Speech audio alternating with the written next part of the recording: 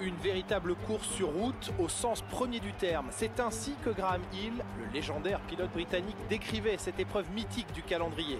Si les monoplaces ont beaucoup évolué au cours des 50 dernières années, la course ici se déroule toujours sur une route publique face à la Méditerranée et aucune autre victoire n'est aussi convoitée que celle du Grand Prix de Monaco.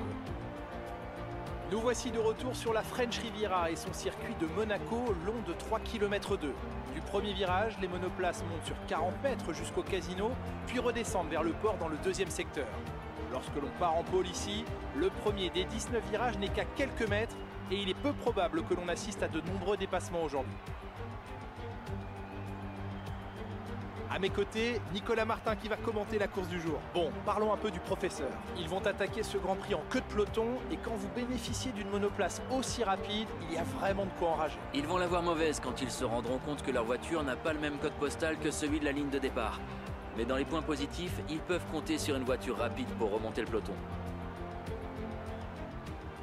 Avant de commencer, jetons un coup d'œil à la composition de la grille de départ de la course du jour. Valtteri Bottas part en pole position, suivi de Sébastien Vettel. Regardons maintenant le reste de la grille. Hamilton, Albon, Kimi Raikkonen et Verstappen, Perez, Sainz, Norris et Daniel Ricciardo. Leclerc, Grosjean, George Russell et Kvyat, Stroll, Hülkenberg, Pierre Gasly et Robert Kubica. Le professeur et Kevin Magnussen occupent la dernière place sur la grille. Il est temps maintenant de nous tourner vers la piste.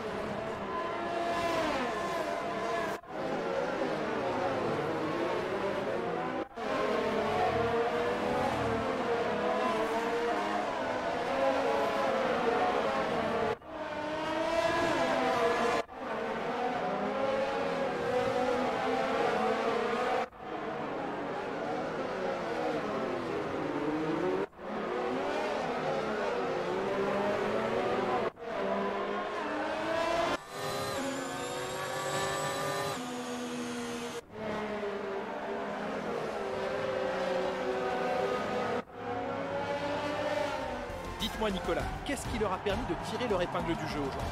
À mon avis, la gestion des pneus a grandement contribué à la victoire. Comme toujours, la vitesse ne fait pas tout. L'important est de conserver un rythme constant tout au long des différentes phases de la course.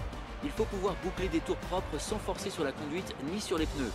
C'est là-dessus que la course a été gagnée aujourd'hui. Mercedes est de nouveau au top après cet excellent week-end et ça fait plaisir de les revoir sur le podium.